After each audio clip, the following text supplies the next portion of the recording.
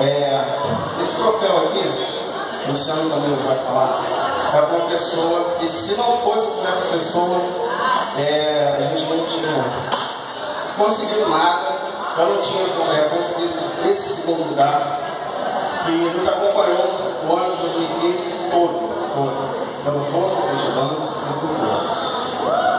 Sim, sem ela, com certeza não estaria aqui, ela me incentivou, ela me empurrou e eu estava desistindo e continuei por causa dela. É uma amiga que eu fiz, conheci há pouco tempo e dentro do coração. Glória.